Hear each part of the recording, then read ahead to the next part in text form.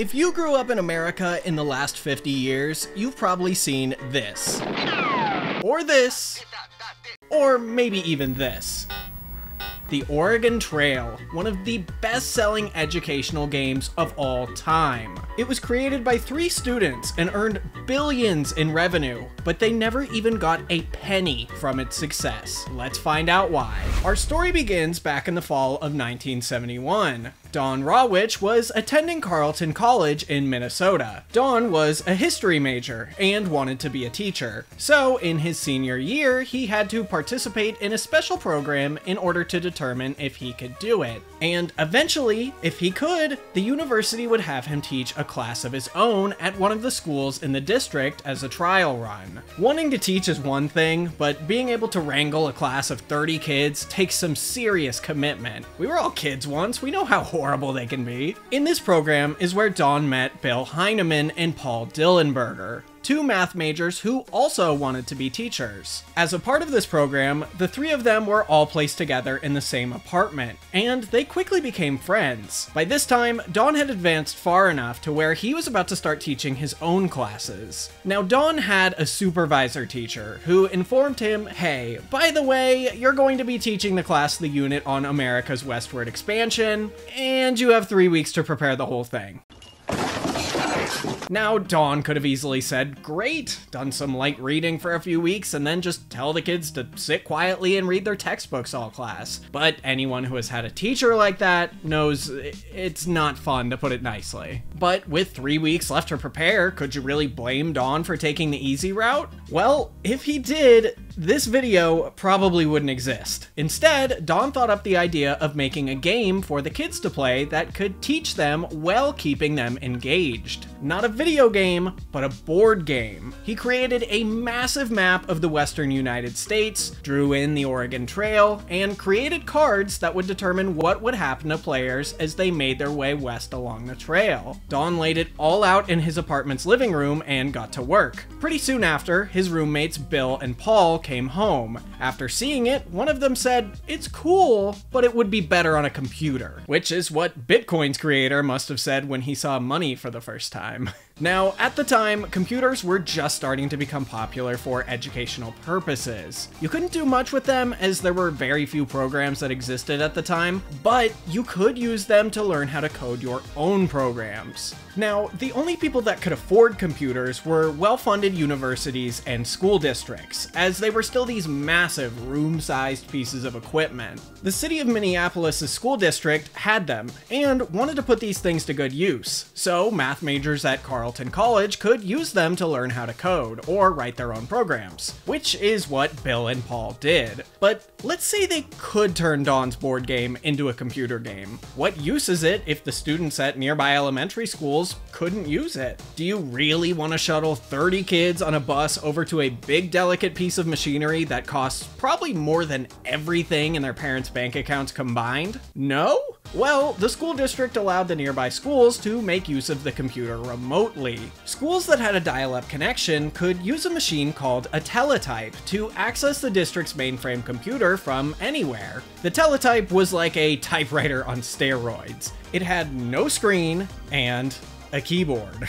You could send messages to the computer by typing words out onto the paper. From there, the computer would respond by printing its own words onto the paper.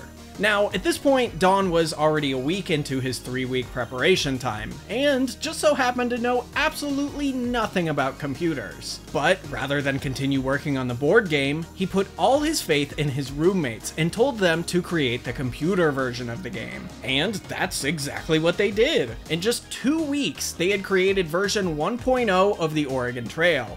And it was impressively complex. This chart on screen displays the entire flowchart of how the game was played. You had to manage resources, decide what paths to take, fend off bandits, diseases, and all sorts of problems. And hopefully, just maybe, you survive the expedition and make it to the end of the trail. The program not only worked, but it was a hit at the school Don taught at. The students loved playing the game and were actually retaining the information it taught them. Lines would form after school of kids who all wanted to try this game. But once Don's teaching trial was over for the year, that was it. he needed to get back to his own life at Carleton College. So Don printed out the program's code on a long scroll of paper and deleted the game from the computer entirely. The game sat on this paper in Don's desk drawer, and he wondered if he would ever need it again.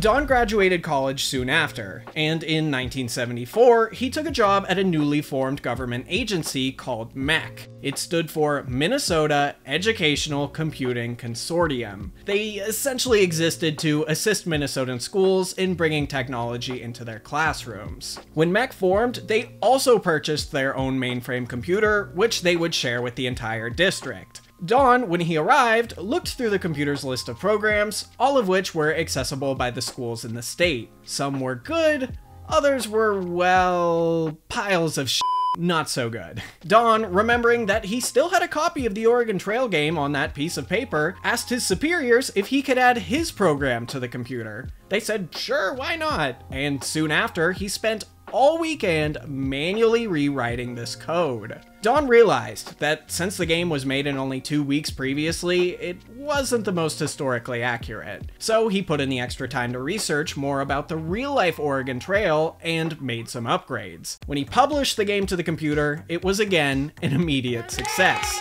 It was the most run program throughout the entire state by a massive margin. Some programs were ran hundreds of times a day, whereas the Oregon Trail was in the thousands. This went on for about five years. But in the background, a big unavoidable storm was brewing the launch of personal computers. For about a thousand bucks, you could now get a powerful computer in your own home that didn't take up the size of a whole room. MECC realized that they were going to have to change the way they do things, because schools were without a doubt going to want to get their hands on these. So, MECC formed a team that recoded their most successful applications to work with the Apple II home computer. Oddly enough, Don wasn't involved in the new version of the Oregon Trail. And the new team were actually the ones who came up with the now iconic phrase, you have died of dysentery. In a later interview, Don actually said he hates that quote, so it sort of ruins the meme for some people, so I'm sorry if it did for you. Now, the version they created was fairly simple by today's terms, but definitely an improvement from its predecessor. Once the game was ready, MECC began selling Apple IIs to schools in the district at a discount through a contract, and along with it came free copies of their software like Oregon Trail, all placed on floppy disks. Now, this whole thing was pretty unheard of at the time. Minnesota School District was far beyond others everywhere else in the US, so when other states caught on, they wanted to copy them. Following in Minnesota's footsteps, they started purchasing Apple IIs for their school districts, but they didn't have the software that Minnesota did.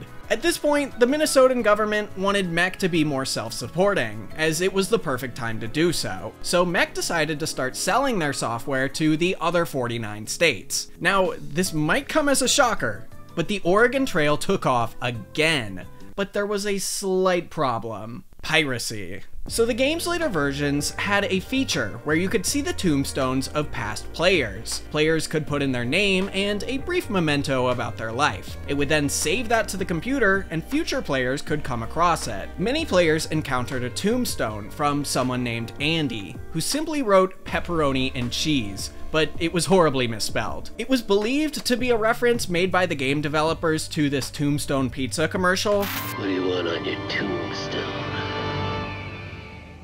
Pepperoni and cheese.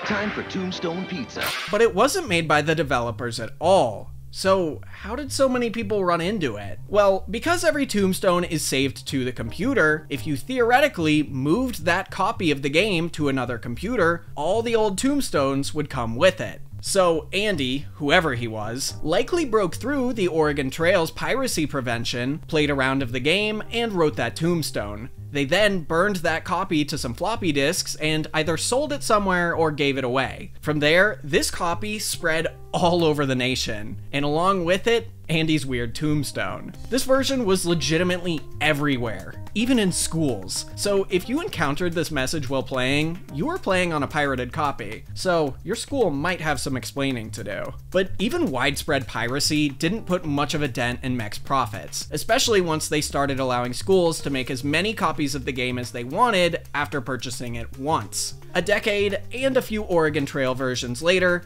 MECC was bought out by another company for $5.25 $5 million. This may sound like a lot, but the state of Minnesota made a terrible deal. At the time, the Oregon Trail accounted for roughly one third of the organization's profits. When MECC's new owner listed themselves on a stock exchange soon after, the public learned that they were making about 30 million in yearly revenue, with the Oregon Trail accounting for 10 million of it. But if you think that's crazy, five years later, MECC was sold again for 370 million dollars to a company called Softkey. Again, with the Oregon Trail being the main selling point. But it gets even crazier. In 1999, Mattel bought Softkey, now known as the Learning Company, for a mind blowing $3.8 billion. The Oregon Trail was so big it was impossible to avoid. It seems like nearly every kid in America had played it, or at the very least had heard of it. It was in every computer store, and even stores like Target started carrying it. So you might be wondering, how much did its creators earn from all this?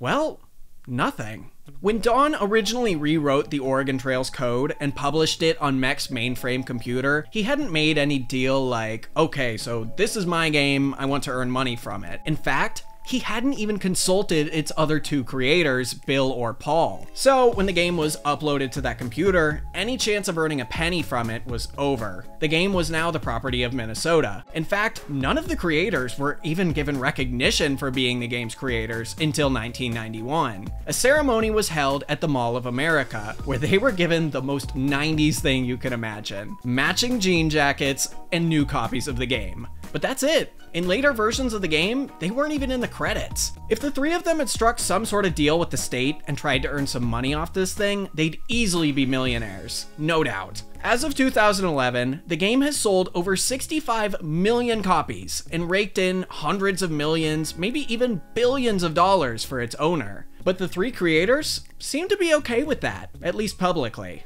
But that doesn't mean they've forgotten just how much they could have made. Don't forget to ask me about the uh, the money we didn't get. We always wondered, you know, why didn't we get any money for any of that, you know?